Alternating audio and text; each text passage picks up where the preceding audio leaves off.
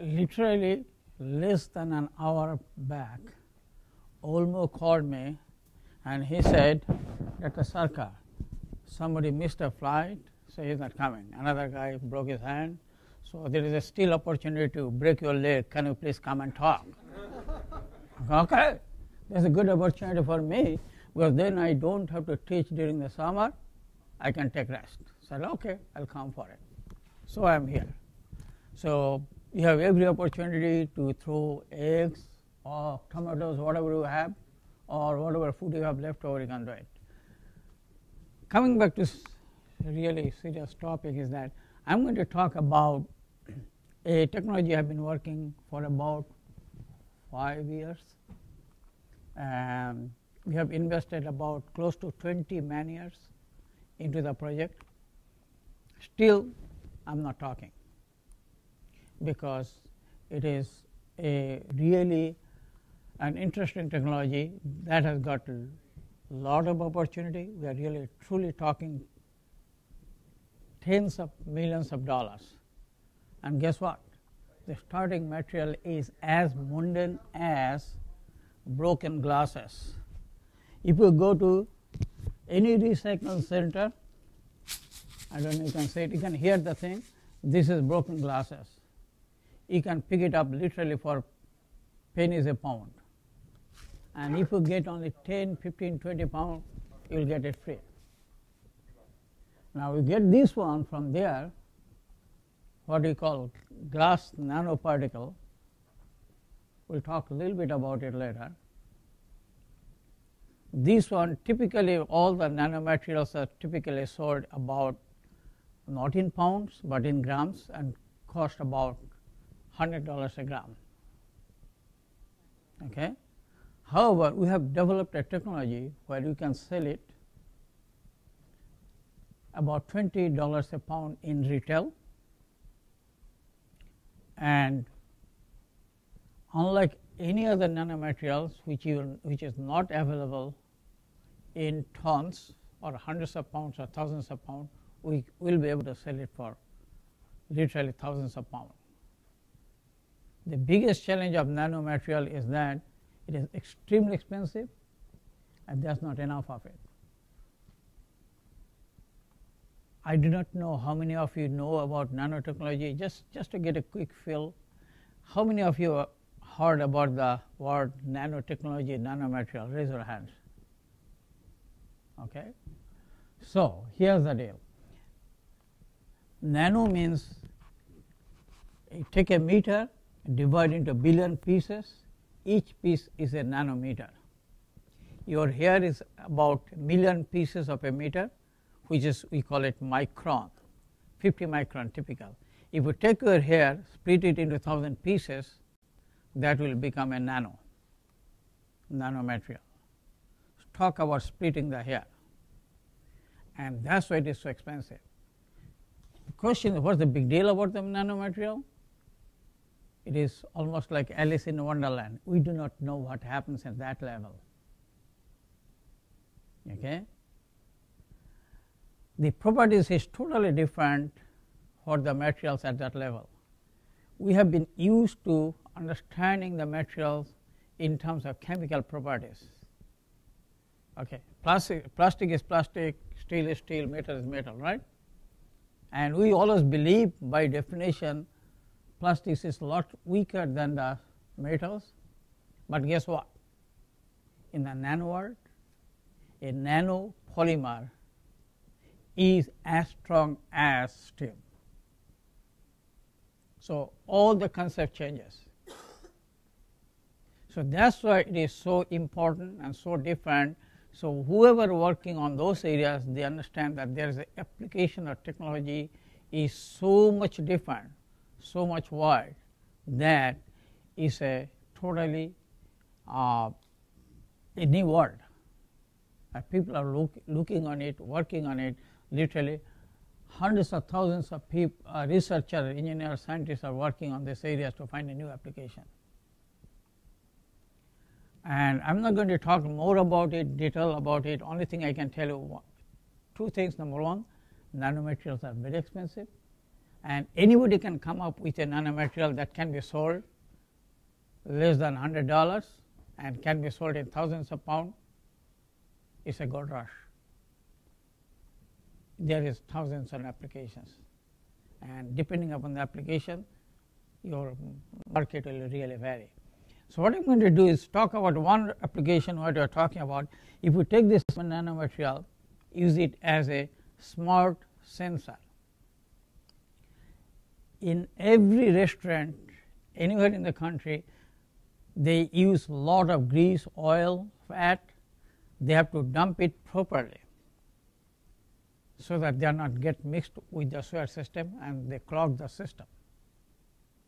Normally what is happening at this point of time is that every restaurant has to clean up their oil dump or the grease dump every other month and even if it is not needed they have to do it because they don't want to take chances.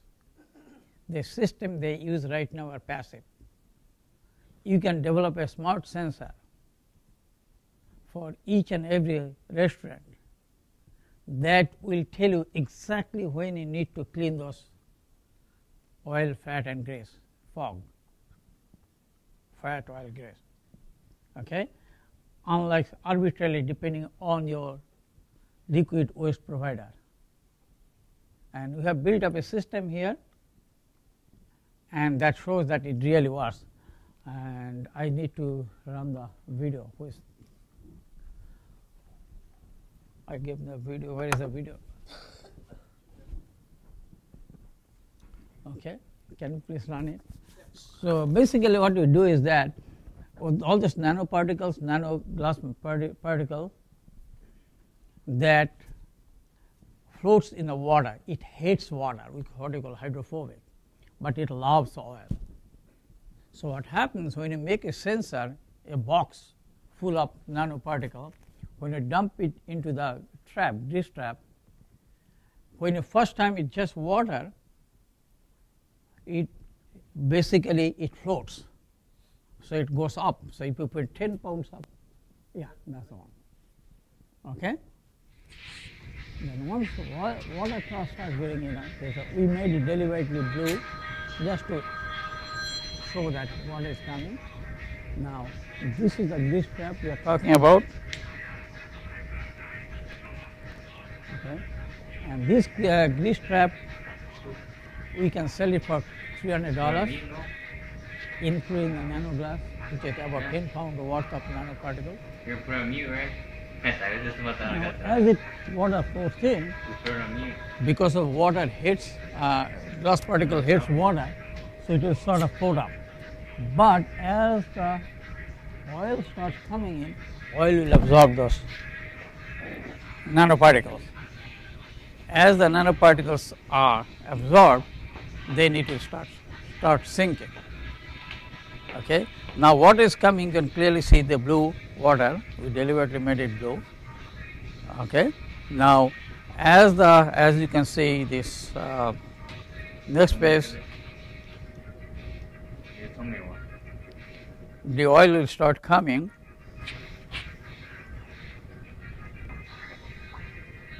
okay Yes.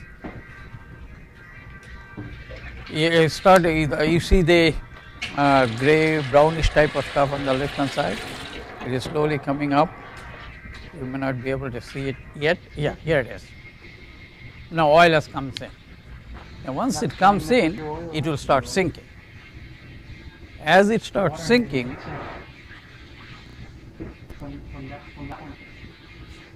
you see finally what will happen all the LED lights will light up.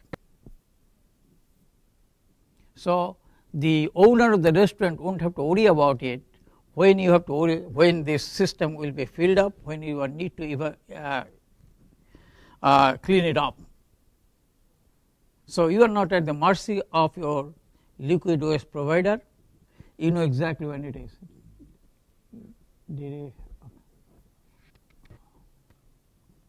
See the light up? So, it's a very smart system. And we are talking about every restaurant has to have it. And good thing about this whole process is that it's a retrofit. They don't have to change anything. All have to change the lead. The lead. This is just one application. We have got dozens of other applications, and we are thinking about commercializing it pretty soon. Okay, and you can expand the market as much as you want. This is just one of the applications. Any questions?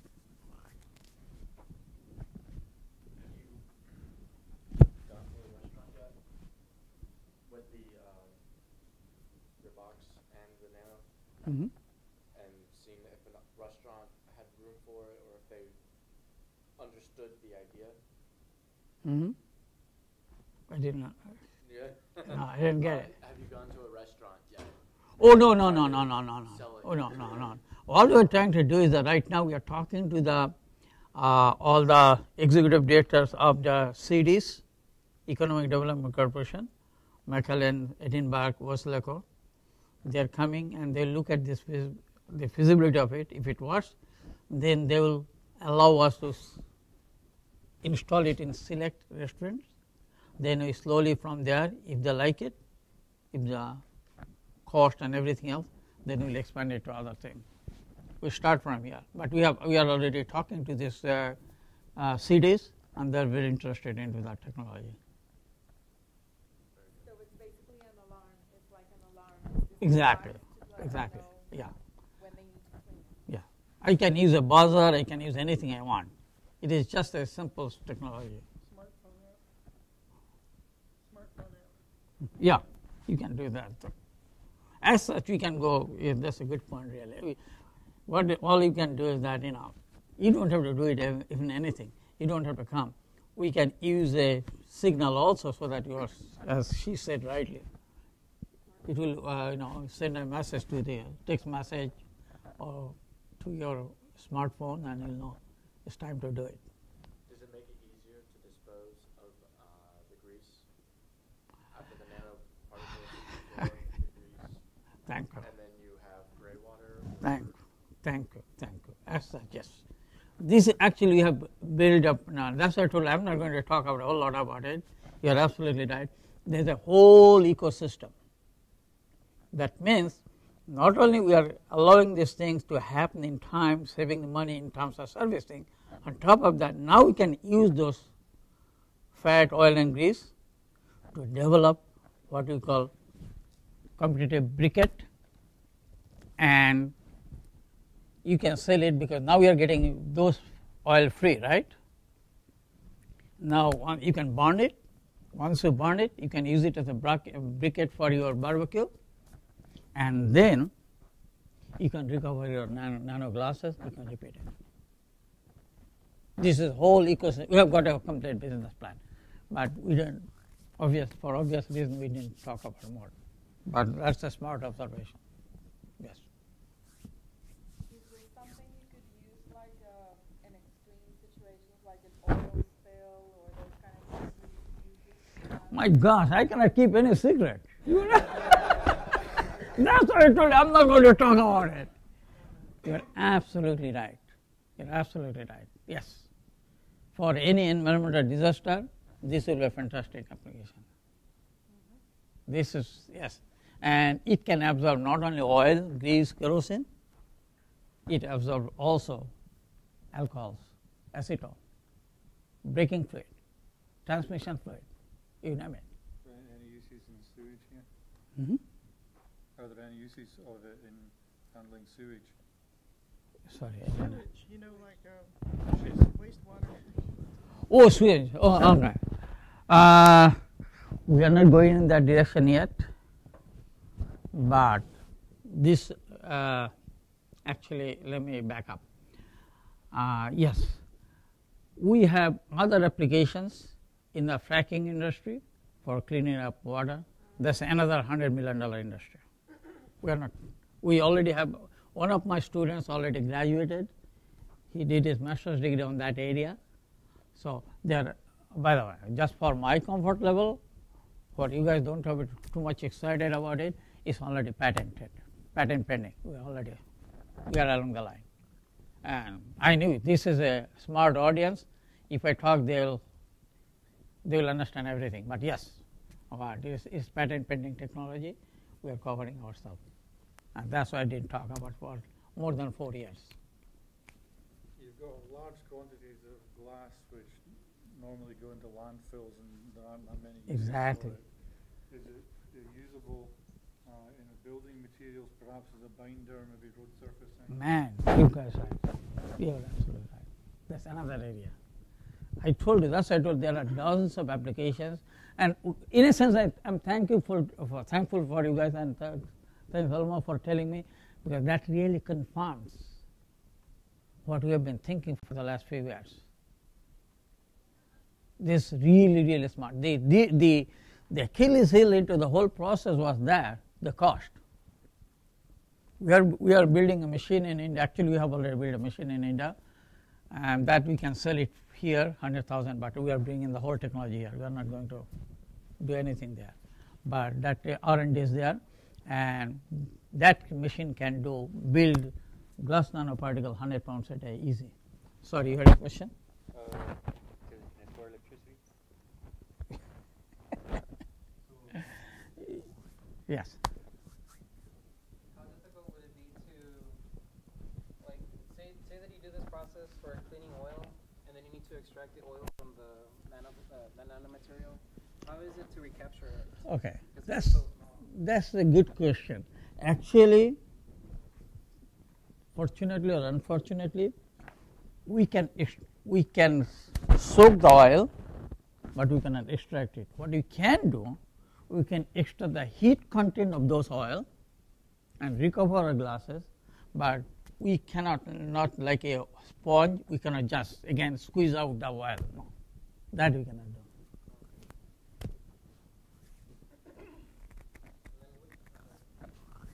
Oh, what do you gonna do with all the leftover, like, materials? Like, say that I wanted to, uh, use it, and then I need to dispose of that nanomaterial.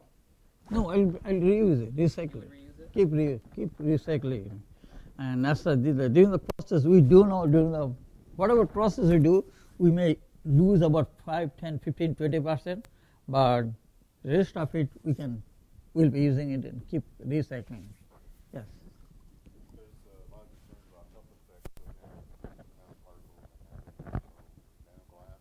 mm-hmm. Been studied for that yet, or are we still working towards that? Sorry i didn't get it Health effects of nanotechnologies, I'm just wondering if nanoglass has been studied yet. It's similar in, in composition to asbestos, right? Asbestos is just a long silicon chain. And so that's, that's the problem with asbestos, right? If you inhale it, you get silicone. yeah the cost cost is always the key issue there are two issues the, the reason the nanotechnology didn't take off okay there are two simple reasons number one is that cost number two there's not enough of it. And that's the reason if, when you talk about nanotechnology nanomaterial the application is where cost is not an issue. One area is defense okay aerospace those type of thing. The other area is medical device drug delivery system where we are talking about life and death. These are the key issues.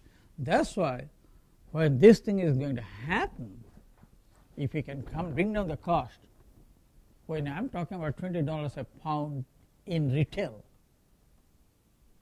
my manufacturing cost will be less than 5 bucks. Okay? That's the huge huge this is definitely a disruptive technology. That's going to change everything. But actually in a sense that's a good point also talking about it. Those all the entrepreneurs the tech guys here let me tell you. The the easy part is to develop an idea get a technical solution. The harder part john knows it more than anybody else dr Sargent, is that putting the business plan together convincing to the investors and then go from there. We are working for almost a year it's still not there. But then again you know when it happens the good thing is that you'll be making money sleeping in your sleep because somebody else will be working for you so just as a techni- technical entrepreneur, make sure you understand the business end of it and you have to spend a lot of time. And you need a helping hand like Dr. Surgeon. Any other question? Oh, um, Raw materials for producing this, can you just use, used old Coke bottles, for example? Yeah. Mayonnaise jars? Yes. Yes. So then, that'll be a di- an additional recycling area then Mhm. for the consumer. Okay. Mhm. That's what I'm telling you. You guys drink as much beer as possible. Give me the glass.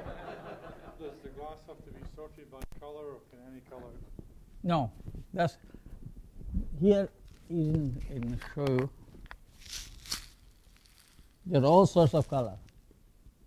Blue, amber, white, green, you name it. But when I get it, they're all white. It's another proper, uh, actually little, okay, this, the technology behind is that at that level, nano level, the light reflects in every possible direction. So you get all the colors. So what you left are left with is really not any of these independent colors, but you get the white off white. That's another interesting. Also, Creating a new white for a painting or something?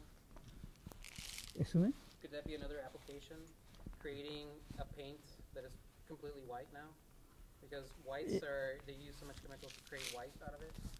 Actually, this this uh, this is white. Now, really, the color really depicts on the light itself. So, You know what I mean? Like the, this wall. You can, you can already buy that. Yeah. There's, uh, nanoparticle sized, uh, spheres of glass that are used for, uh, the white paint that is on the, the stripes on the road. That reflects light Hmm. back the direction it came. Sounds very similar to this. yep.